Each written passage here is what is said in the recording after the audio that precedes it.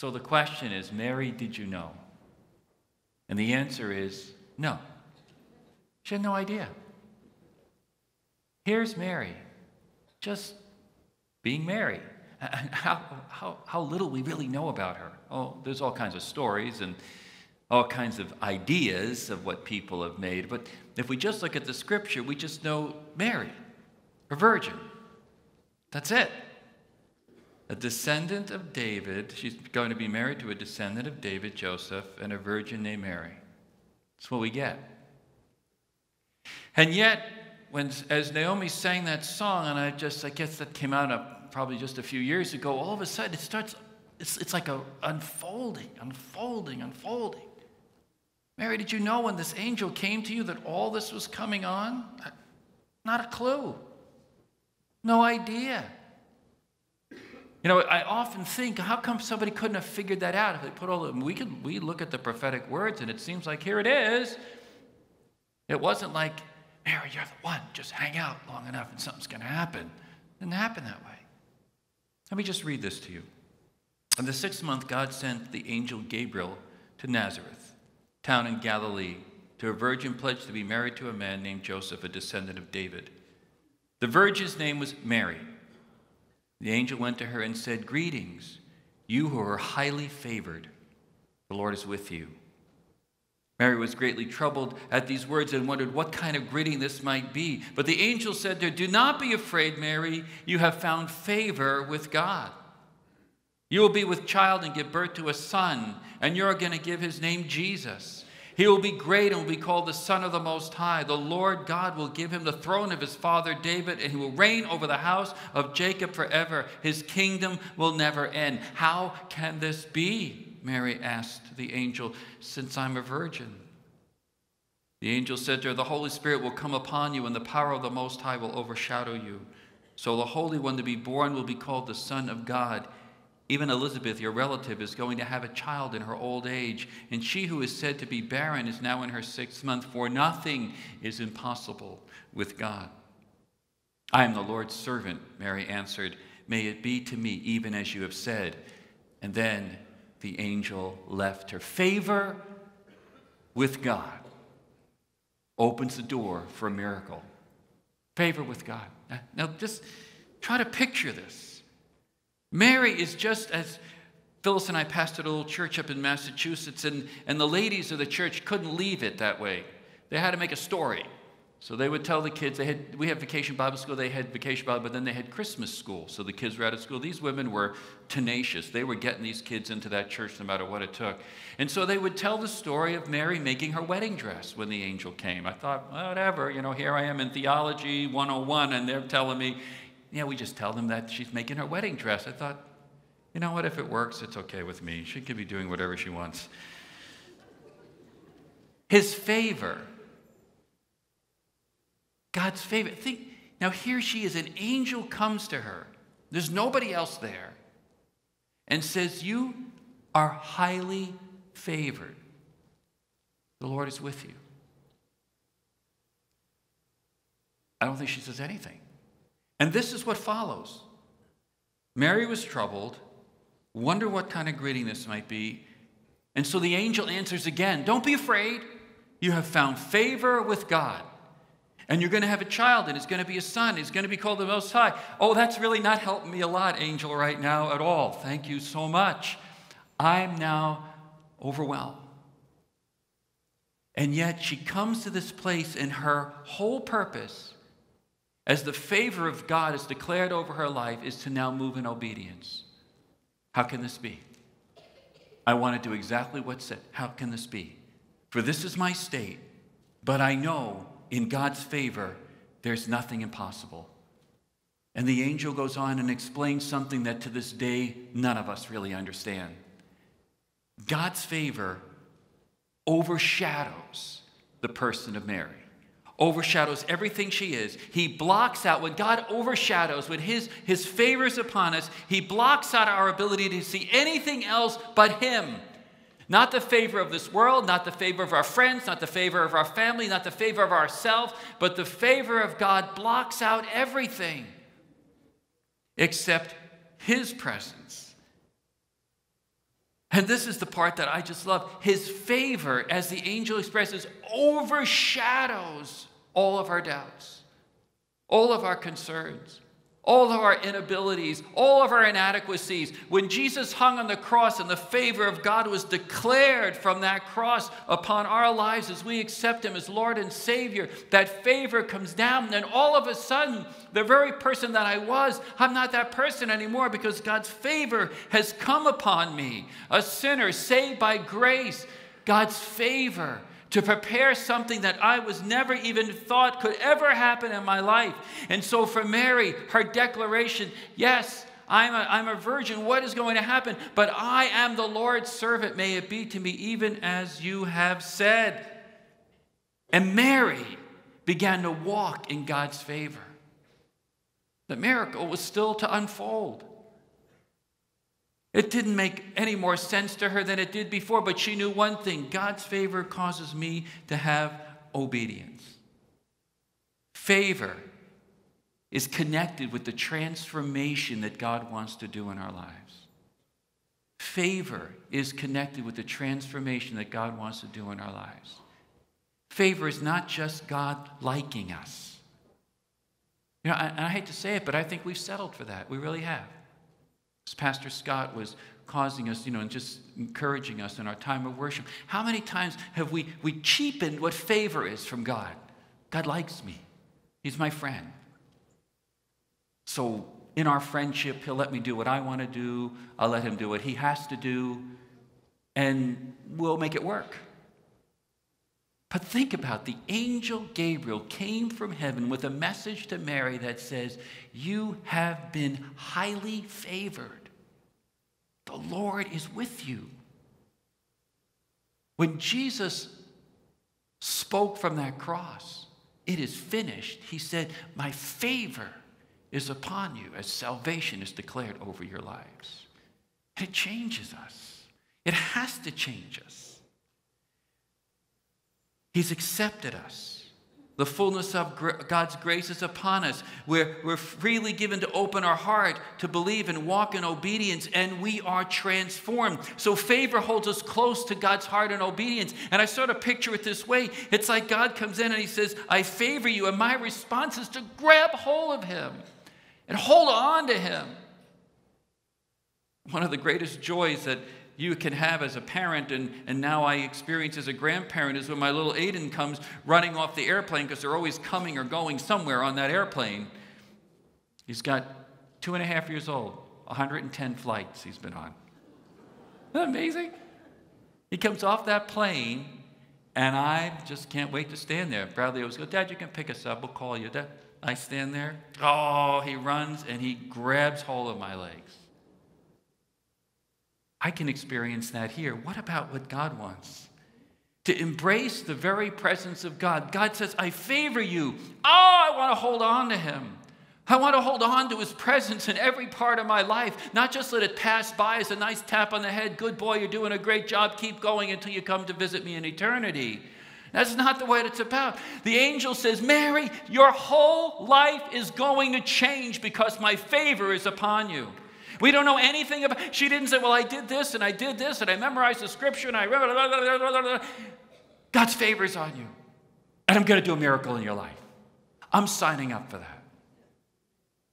God's favor poured down upon our heart. It's, it's about giving up everything when God's favor is in our life. It's about giving up everything when His grace is poured down into our hearts and life. We no longer insist on maintaining our individuality. It's not about that anymore. So many of us, God comes into our hearts and lives, we're overwhelmed and we're saying, Oh, thank you, Lord, for all these things you've changed, all these things that I needed in my life. These things have been really okay. You don't have to do anything over here. This is really good. I'm kind of a good person. I've got some ideas, I've got some thoughts, I have some talents, I have some gifts.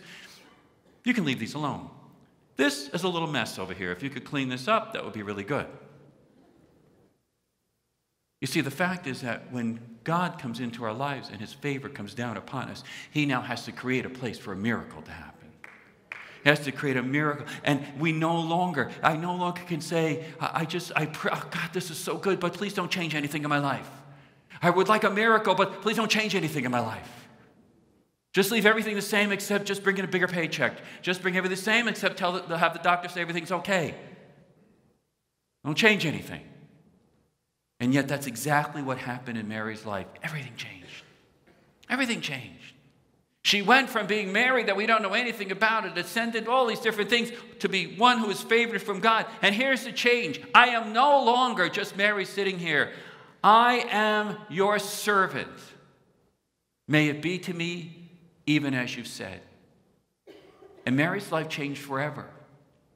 When God's favor is upon us, it's not until everything and the miracle happens. It's not like, okay, that was a lot. Let me go back to my routine now. Think about how simply we do that. For most of us, we think a miracle is getting a parking space at Macy's during the Christmas rush. You know, I had a miracle today. Car pulled out right as I pulled into Macy's. Thank you, Jesus. I mean, that's what we limit it to. I mean, think about it. It's not a miracle, that's just God's grace. We're walking through our life. God, every so often, He just, oh, they need a parking space. Give them a parking space. I don't know how that works. I pray for parking spaces all the time. Sometimes I'm parked at the second field. I don't know where I am. I must be in the wrong place. But her identity, see, her identity was not transformed with the intention of her going back to the way she was ever again. Ever again. And maybe that's the biggest challenge for us when God's favor from the cross comes down into our hearts and lives. We have to start realizing I'm never going back to the way it was again. I'm never. I'm never going back to that place where I was angry and bitter. Never going back to that place where I was unforgiving to people. Never going back to that place where I lived in depression and despair my whole life. I'm not going back there. God's favor changes who I am. And a miracle that he's about to, that's about to happen in my life now has a place that he is preparing.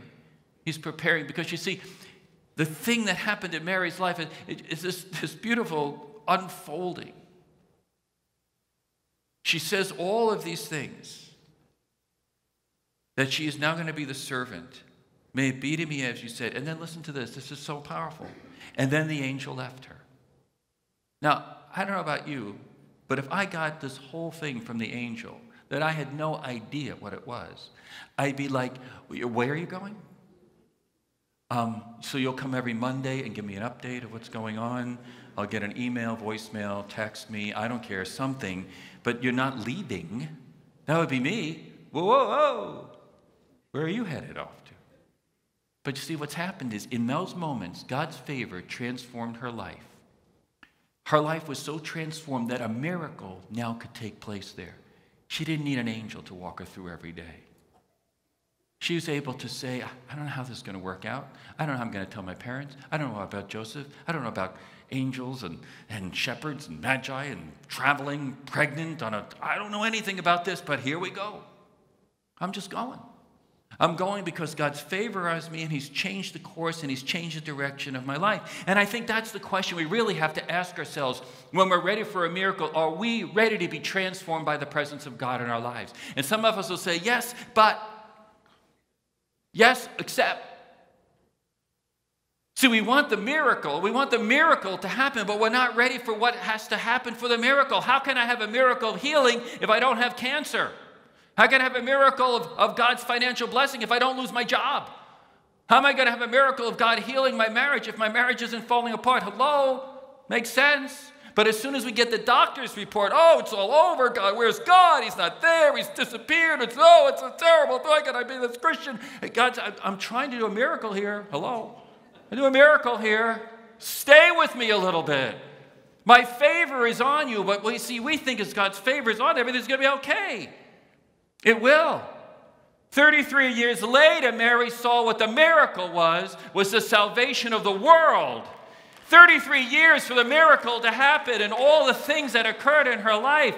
Watching her own son be nailed to a cross, 33 years it took for that miracle to really come to the fullness of what God intended it to be.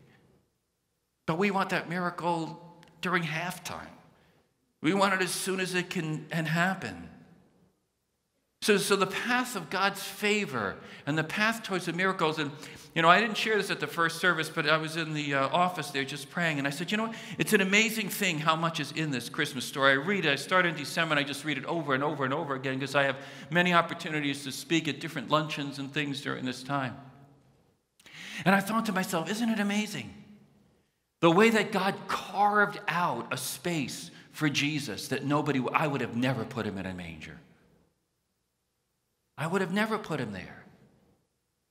I would have put him, I don't know, where do you put the Son of God? Maybe a suite at the Hilton. I don't know what, what you choose.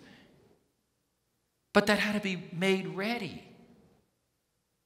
Didn't seem like there was much favor on Mary and Joseph, except for maybe the heart of an innkeeper that we know nothing about, except that he was an innkeeper and there was no room. And somehow they found their way to this, this, this manger and there was a preparing in a dark, smelly, messy place for a miracle. See, I, I'm like you. I don't want the dark, messy place. I'll just take the miracle, please. I don't want the work that God has to do in my life to prepare for the miracle. I'll just take the miracle, please. I don't want the negative to see the good thing. I just, I just want the, just the miracle, please. There's not a woman here that has had a child that can say to me, Oh, at the very end, it's really wonderful. That's the best part at the end. All the rest of the time, your back hurts, your ankles swell, you're eating things you never eat in life. And, but when it finally comes time to the contractions, oh, that's the best part. I would do that alone. Listen, I have my wife grabbing me I know what, I don't know what was going on there, but I know I got out of that room, let me tell you right now. But the fact is, is right when the miracle is ready to happen is when it's the worst that it could possibly be. When the pain is the worst, when the disappointment is the worst. When the, because why? Because God's saying, I need my favor to be transformational in your life right now. I need everything to be made ready because when this miracle happens, your life will change forever. Your testimony will change forever. Your witness will change forever. Your attitudes will change forever. Your values will change forever. That's the way a miracle happens. It changes the course of our lives. Mary's life was changed. Our life was changed by the miracle of salvation. But like Mary, we have to just step into that place and do it. Or Joseph to step into that place and do it. Like the shepherds who get announced from an angel. Those of you who have seen the show, we have this angel. My goodness, I've never seen an angel so big in my life. I'm having nightmare, I mean dreams about this night. I thought, and that's one of the one of the men from our congregation. Oh my goodness. It's incredible. I would be like the shepherds, fearful. Fear, I was fearful. I was sitting all the way over there. So, the, what's the path of God's favor? You know, Paul sums it up. He sums up something that to me maybe makes us understand a little bit more how God's favor prepares the way for a miracle in our life. But it's not the way we think. From uh, 2 Corinthians 6, Paul says these as God's fellow workers, we urge you not to receive God's grace in vain, for he says, In the time of my favor, I heard you, and in the day of salvation, I helped you. I tell you, now is the time of God's favor. Now is the day of salvation. And so here's Here's how it comes down from Paul We put no stumbling block in anyone's path, so our ministry will not be discredited. See, God's favor requires us to live differently. That's what Paul's saying. God's favor is in our life. We have to make some choices here. God Almighty, the creator of heaven and earth, has spoken favor and grace into my life through the cross. For Mary, it was the word brought by the angel. And so here is what Paul says Rather, as servants of God, I am the Lord's servant, may it be to me even as you've said. We commend ourselves in every way. We commend ourselves in every way.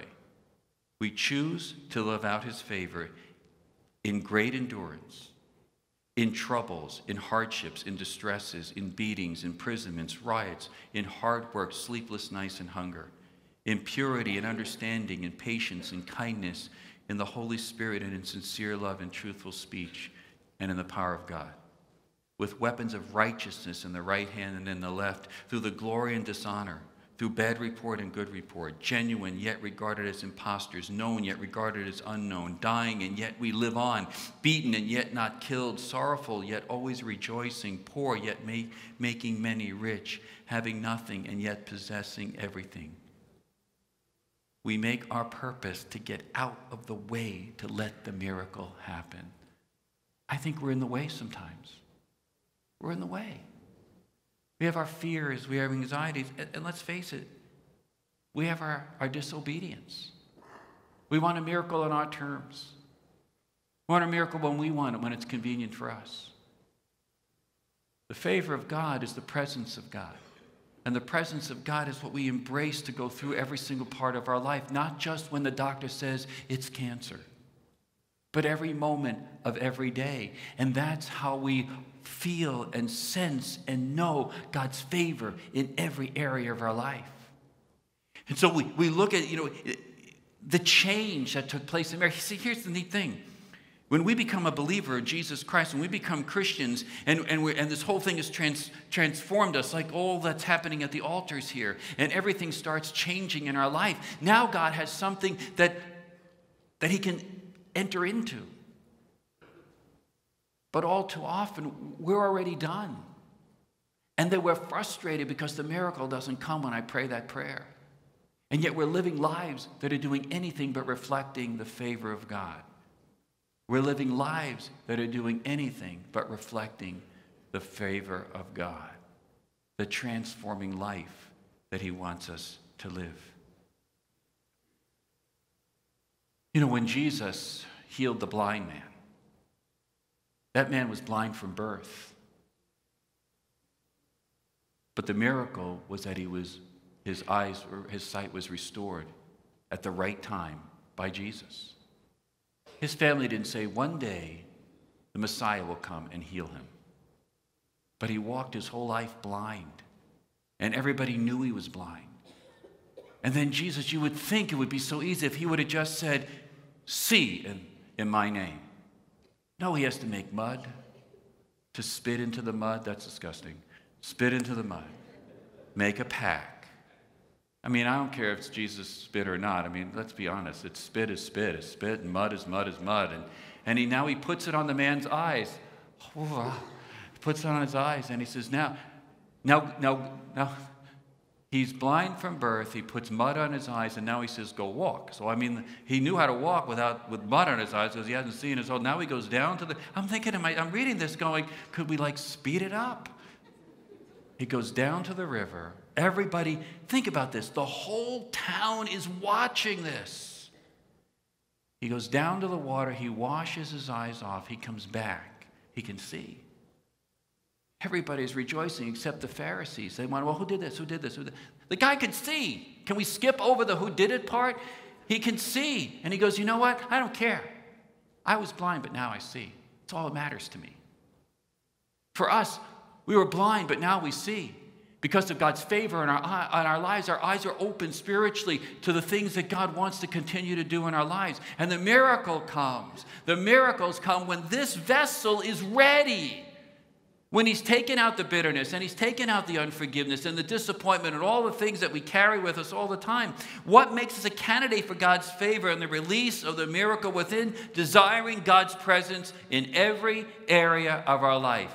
Desiring God's presence in every area of our life. Not some on this side, not some on this side, every area of our life. God's presence. I need your presence in my marriage. I need your presence in my finances, in, in my dealings, in my job, as a boss, as a worker. I need it as I deal with people all day long. Lord, I need your presence. That's what I need, your presence. And that what that does is say, I'm holding on to you, God. And as your favor pours into me, now I'm ready for the miracle. Now I'm ready to speak life into a situation that I could never do before because your presence has transformed me. And now I'm a vessel carrying a miracle to an unsaved person that can come to know you as a Lord and Savior of their life. I'm a vessel ready to birth forth a miracle because you have prepared me and I have moved in the favor of God.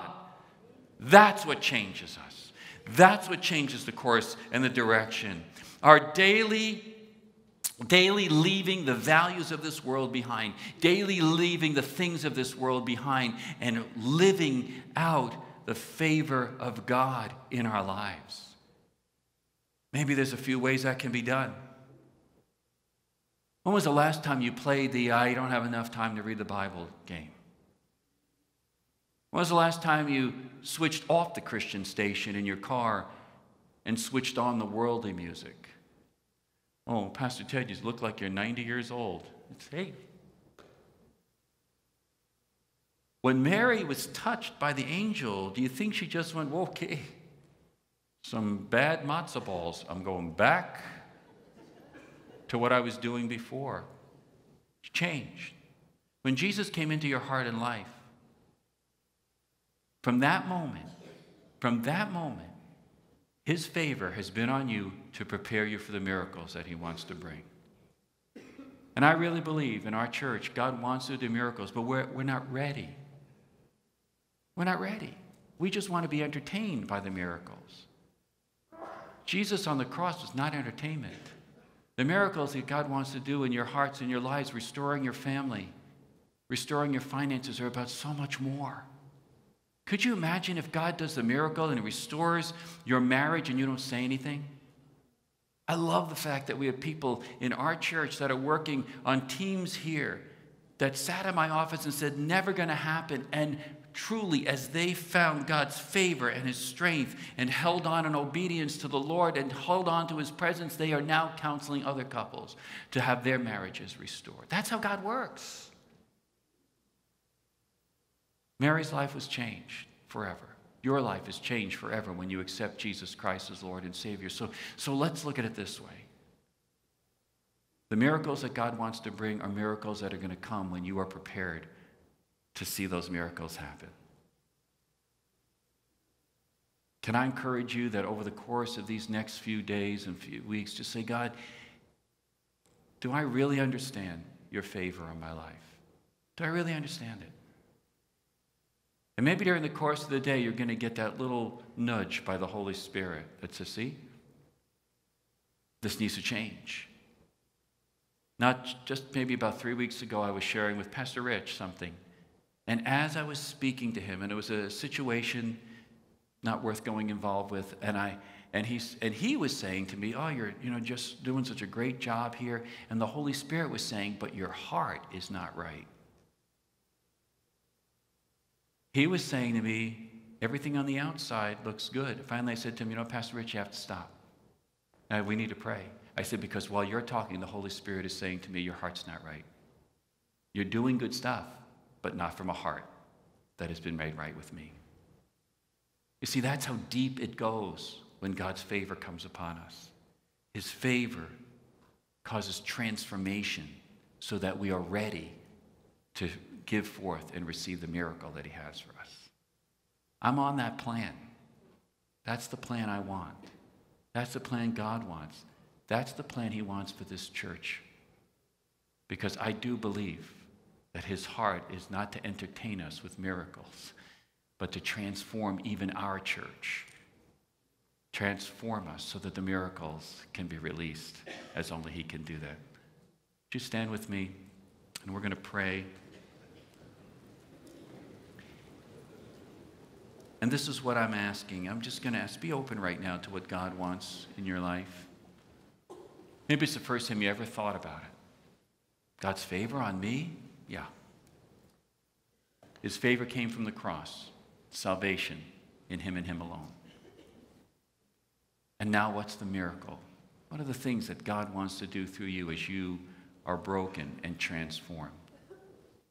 So, Lord, here we are in this place today. And we believe that the work that you desire to do in our lives is overwhelming for us. Just like Mary, sitting in that place wherever she was, and an angel making a declaration that she couldn't even begin to grasp hold of. And I pray that you will move us as you did Mary with truths and visions beyond our comprehension I really believe that, Lord. You want to cause us to see beyond what we can hold on to. Because your presence is so much more than just a feeling or an emotion. And forgive us when we've, we've limited it to that.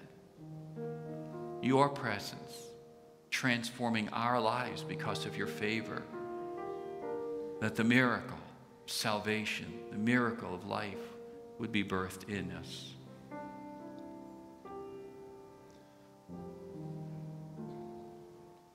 As we're praying, I just, there is someone here, I believe it's a man, and, and you just came here today and you're just so hopeless.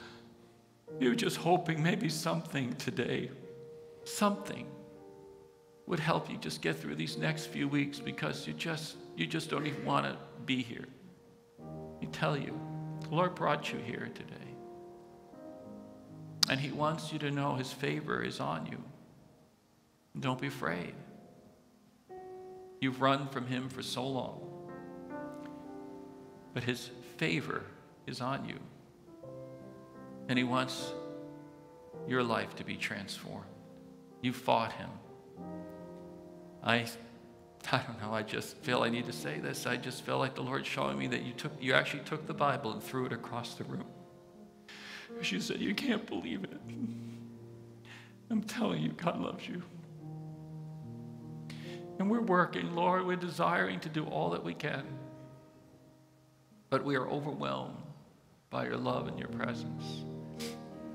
And Lord, we believe that in all of our lives, a miracle, Lord, just the miracle of our salvation is overwhelming enough. But thou, Lord, we might be an avenue of miracles as we speak that word of truth into people's hearts and lives. The moving of your spirit, your presence, Lord, that sets us free from the things of this world. Thank you.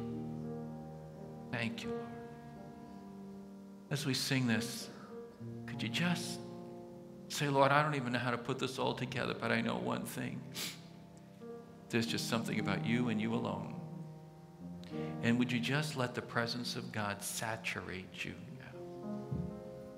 now? Hallelujah. Jesus,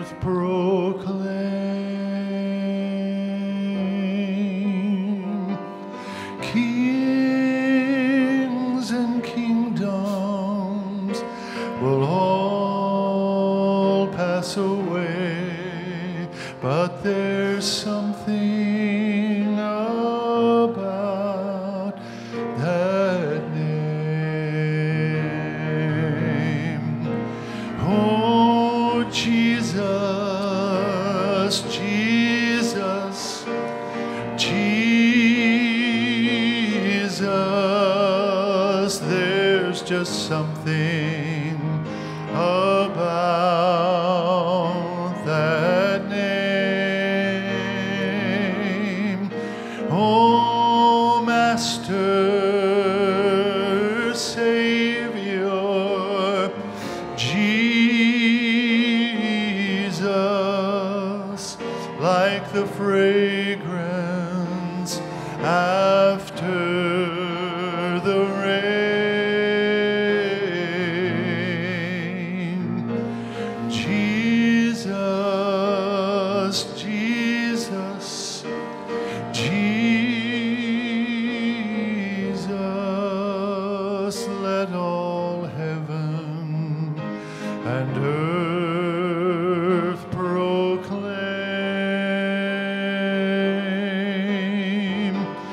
Kings and kingdoms will all pass away, but there's something about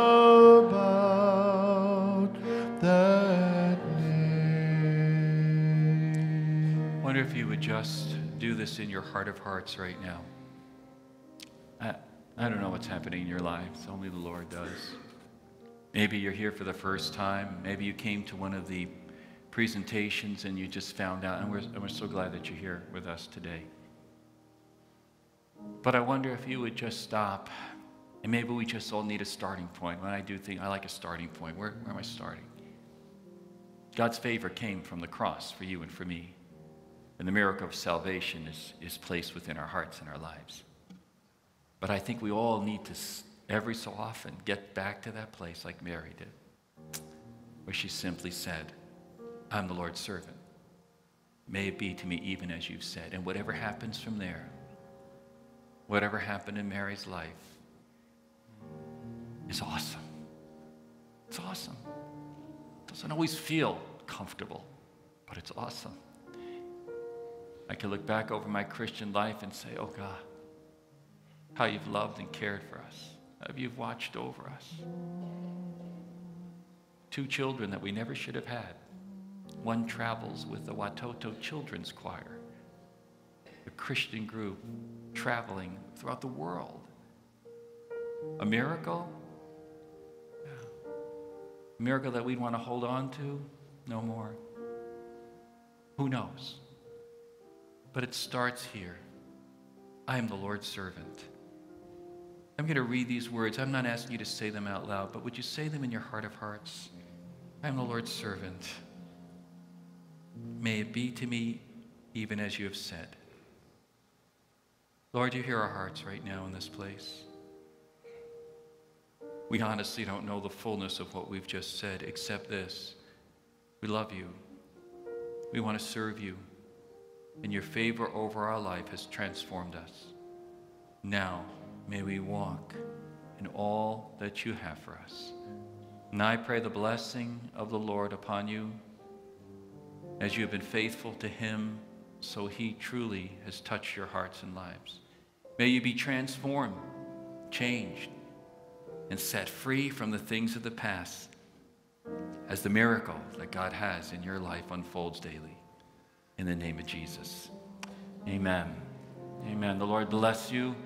And just continue to pray for all of the presentations today that these altars would be filled with many who come to know Jesus Christ as Lord and Savior of their lives. God bless you.